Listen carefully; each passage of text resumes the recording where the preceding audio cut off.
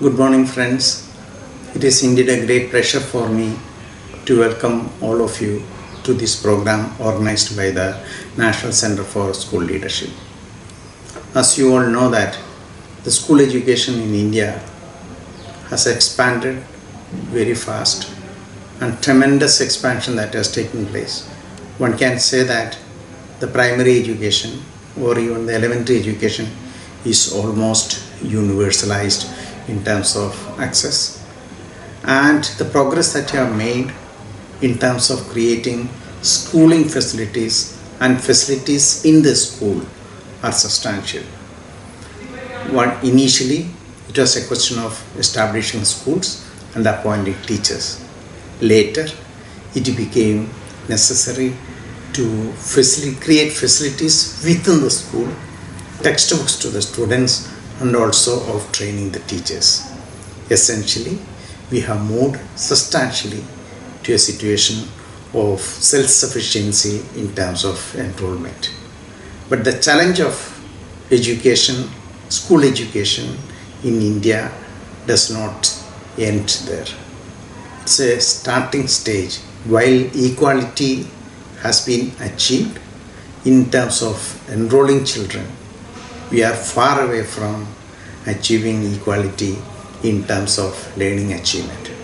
I think the basic challenge that the schooling system in India faces is that schooling without learning, which is really a great danger for the future generation, which will have harm, harmful effects for the next generation when they come to the employment market, etc. I think we need to make a distinction between schooling for all and learning for all. We had to trans we had to move a, move from providing schooling facilities and schooling children to a situation of learning. So I think the best way to do that is that we had to see that learning becomes a necessary condition that is focused, that is targeted well in the school system. We have seen that several efforts that have been done in the past have been uh, very successful in bringing children in the schools and retaining them. However, when it comes to the levels of student learning, we have not achieved what we should. I think the basic difference between the 20th century and 21st century is that in the 20th century, especially the second half of the 20th century, we were talking about schooling all the children. But today we are talking about learning for all children. And this means that we have to transform the schools and institutions into learning organizations.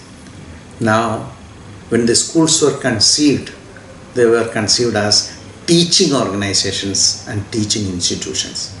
Now we have to see them as learning organizations. Therefore, the challenge before the educational planners and educational administrators is to how to transform schools from a teaching institution to a learning institution and the learning becomes meaningful when the all children gets, gets the benefit or in other words the gains from learning are more equally distributed among all children belonging to all groups. This has a lot of implications.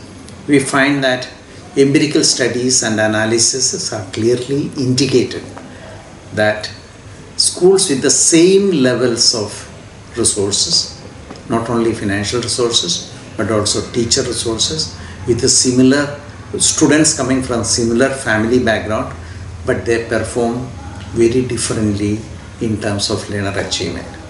So what is the source of this performance difference? If the facilities in the schools are more or less the same and if the socio-economic background of the children are more or less similar.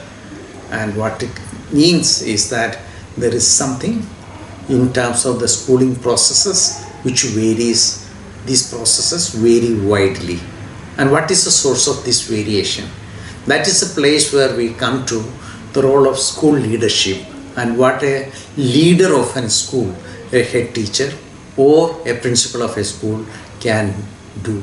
I think we have come to a conclusion, especially in the context of India, since we had the Operation Bo- Blackboard strategies from 1986 onwards, where we defined teaching learning conditions and tried to provide facilities to the schools. We are in a situation whereby we are trying to see that how the school leadership can be strengthened and how the schools can be made more effective. Or, in other words, it is not only school improvement but also creating effective schools through effective leadership of the schools, school leadership. That becomes the major concern and priority for action in the country.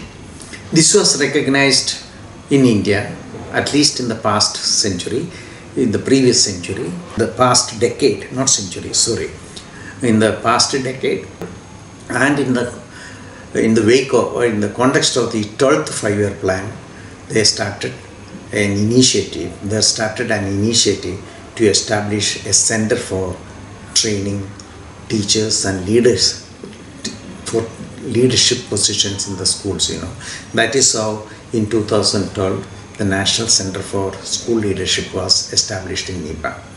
This center conducts a large scale, large number of research and also has produced a substantially very good quality. Very good quality means comparable to the world standards. Very good quality material for training of school heads and the principals of the schools in different in different states and also at the national level.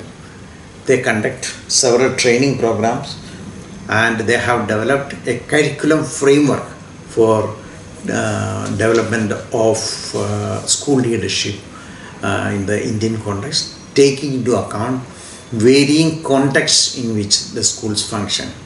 One of the advantages of these programs is that the sender has taken into account the varying context in the sense that of urban schools, of rural schools, remote rural areas, schools which are located in the predominantly in the areas which are occupied by uh, disadvantaged groups, they have taken into account this. And as a result of that, many of the training materials, booklets published by them are also translated into or modified and got translated into different Indian languages. It is not only from English to Hindi but also many regional languages. That shows a stage in the process of uh, enrichment of these programs and reaching these programs to the most wanted areas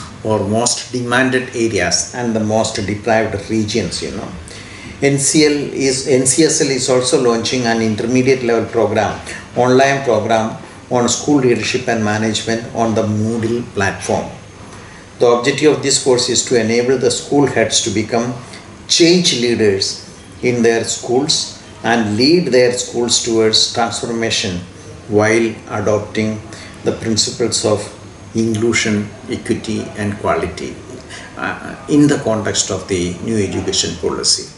I would like to underline this fact that NCSL takes into account the expansion of the education and the increasing diversity, especially the student diversity that is entering into the scene. The major challenge that the country faces is that how do we maintain quality if not improve quality when the student body gets diversified substantially this addressing this diversity issue becomes more important at the school level and also at the system level. The ncsl has been very successful in organizing addressing these issues through their most of their training programs. And I think the new program that is uh, offered now also covers seven key areas and that is also meant to further reconfirm, strengthen and reinforce academic, administrative and managerial capabilities to provide and to develop to provide an opportunity for development of effective leadership in the schools. Therefore that this program is open to all school heads who have successfully completed the basic level of online program. And I am sure that this program will be utilized by the school heads and it will be of uh, very good help as part of the continuous professional development process that is taking place. Let me end by saying that how schools can be improved, how learning gains can be democratized, and how the schools can transit from teaching institutions to learning institutions, and what is the role of a school leader or a principal. What is the role of a school leader, or when do we say a leader is effective? It is not that when a leader is effective, when the schools are running properly, but it's also a situation where schools are running more orderly, but also it is reflected in terms of improved learning achievements among the children. That forms the basis for measuring, measuring assessing school leadership qualities and also big schools becoming an effective instrument what we call as school effectiveness becomes a priority and school leadership becomes a necessary crucial element in the process of developing and uh, uh, envisaging school as effective organizations promoting learning achievements